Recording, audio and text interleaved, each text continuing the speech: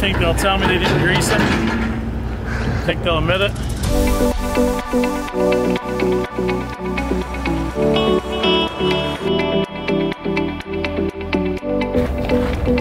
Disgusting, man. It's absolutely disgusting. Doesn't matter how much you pay them, how much you do for them, what you buy for them.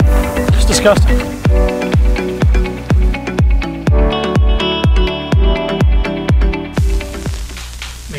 Only gotten through that much coffee. That's look at all the ice has melted. It's been such a busy day, Zach. Um,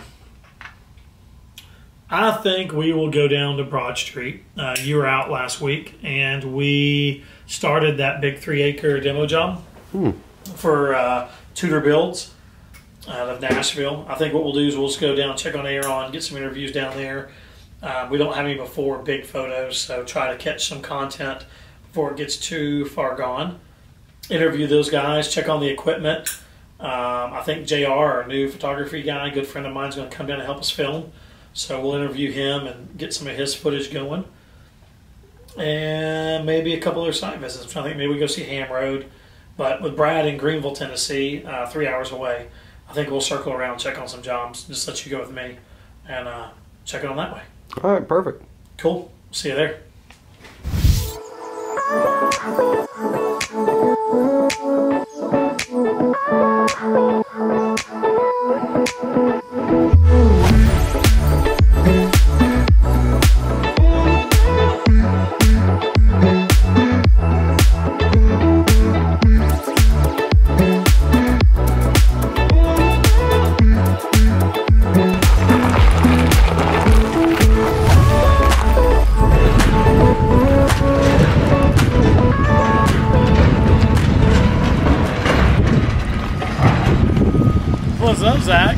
Zach? Here they are. Back yet or just us? Are. Just us, I believe, right now.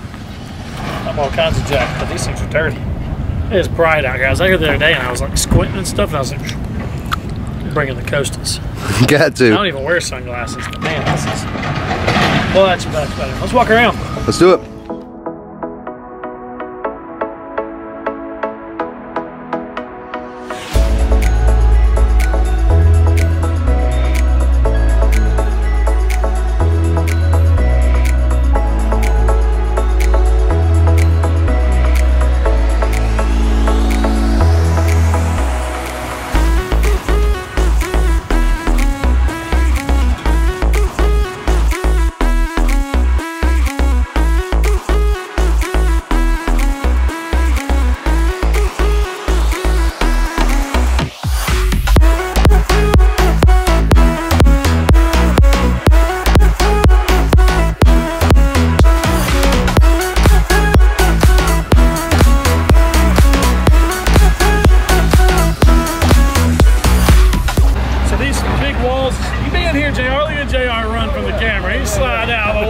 Of the way. That's you lie. New camera guy, JR. He's already sliding behind that camera.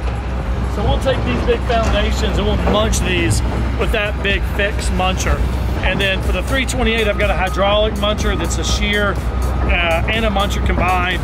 It rotates, big cat processor, but I don't think I'll bring it here. I think I'm just gonna run that one jaw. I mean, we've almost got the concrete done. More of a crushing thing now.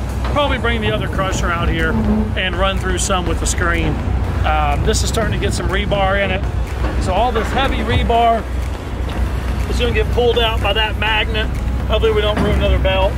Uh, but you can see it does a pretty good job of pulling the metal out. So 100% gonna be reused on this project. Nothing's gonna leave. We'll use every bit of it back on the job. So save the client a lot of money because all of our utilities had no rock in the number.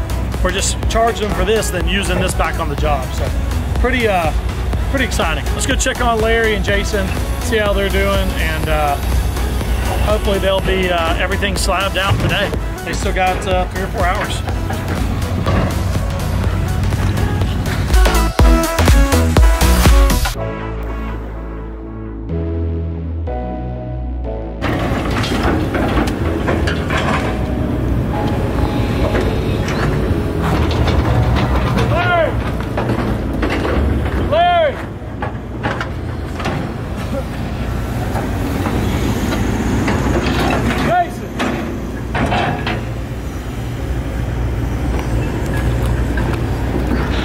They'll tell me they didn't grease it? I think they'll admit it? Is, does it sound like it's not greased? Wow. Let's just see. Larry won't lie to me. Larry won't lie to me. You gotta film Larry's bucket. It's looking a little thin. You can see the rock through it on the bottom. Let's go. That's our demo bucket. That's about to be our scrap bucket if we ain't careful. We get those things greased this morning. I know. I can tell. I saw it from the car. I know you don't think I can tell, but tell me why we're pulling concrete up without greasing the machines, I'll give you a thousand dollars. A lie. I know, a lie. I mean, those booms are slopping around. Both of them are clacking. That boom's moving two inches left or right. we got to grease every day we do demo. We know that. The second part of that is if I push you for time, you can't do everything right. But if I give you all the time and put four people out here and crew trucks and stuff, then what I've got to get back is that quality and taking care of stuff. Yeah. And you know how I am. If the first hour in TSheets is service equipment, blue filters out, I never, I don't call anybody till eight o'clock. Oh, yeah. I mean, that's I expect it. I mean, it's the only way to keep these million dollar machines running. Take care of them. We can't just come out here and work them every day, not take care of them. I grease it every morning, every evening. I can't spend enough money to fix the problems around here. This is crazy. All right, appreciate you. See you.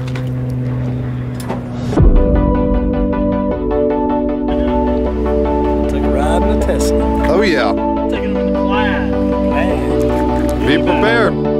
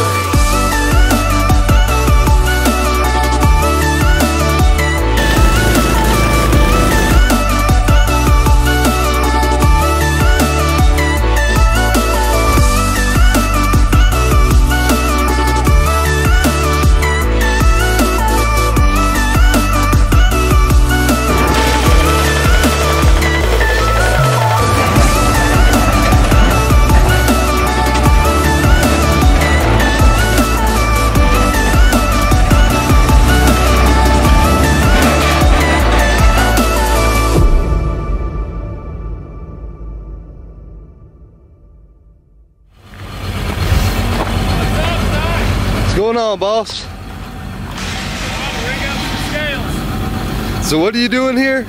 Trying to remove some scales. This used to be a water treatment plant. I'm sure y'all already know that. But these scales they would drive across to get their incoming weight and their outgoing weight.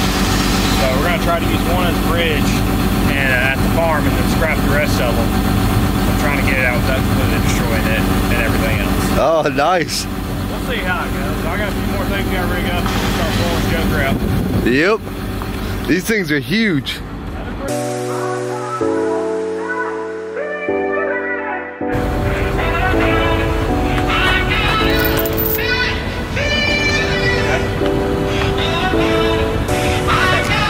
Cody's got GoPro questions. Okay, nice, nice.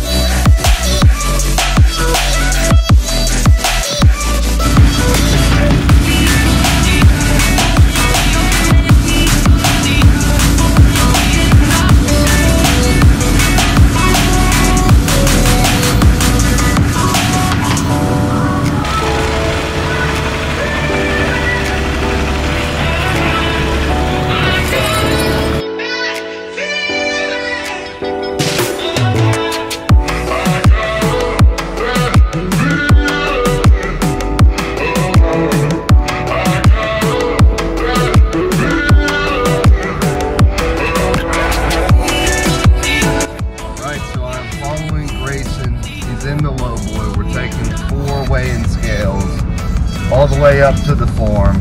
I'm in this huge Ram truck. If I gotta run the red lights, I gotta run the red lights. That's what I'm here. So stay tuned, baby.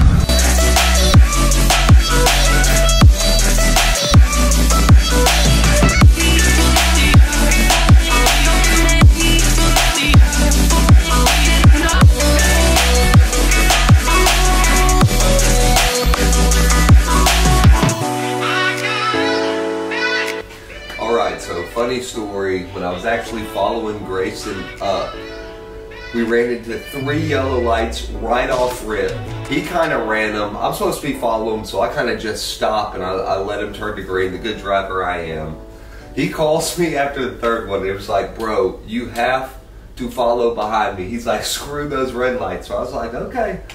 But anyways, we made it up to the farm. It really needs a bridge where it's talking about. I'll show you a clip of it.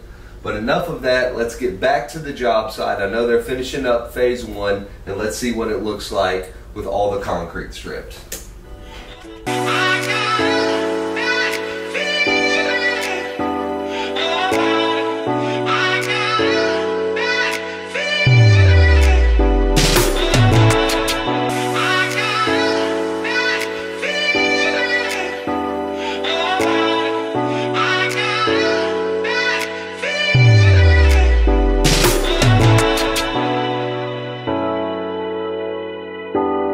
Like just about all the concrete's up now.